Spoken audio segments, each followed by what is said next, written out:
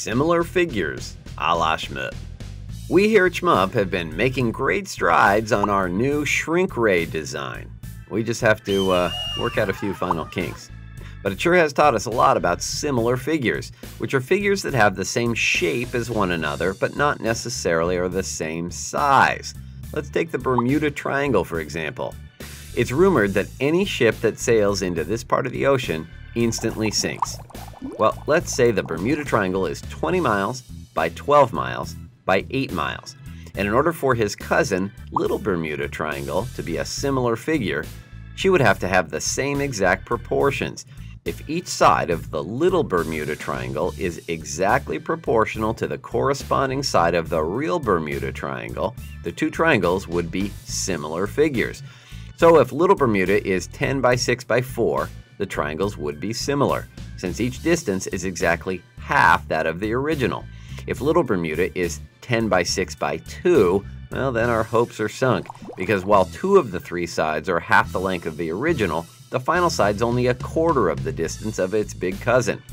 Well, another way to determine whether or not figures are similar is to check their angles. we said angles, people, listen up.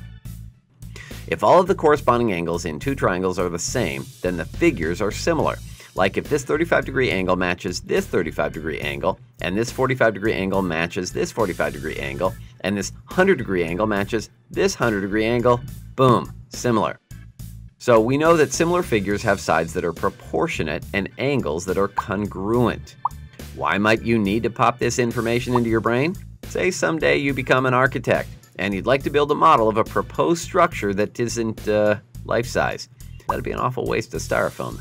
Now, let's say you want to know how tall an existing building is. Well, maybe you need this information to rappel down the side of some building, but uh, we won't get too nosy on that one. Well, you can measure your own shadow. You know how tall you are, right? Now you can measure the building's shadow, and the proportion of actual height to the length of its shadow will be the same for you as for the building.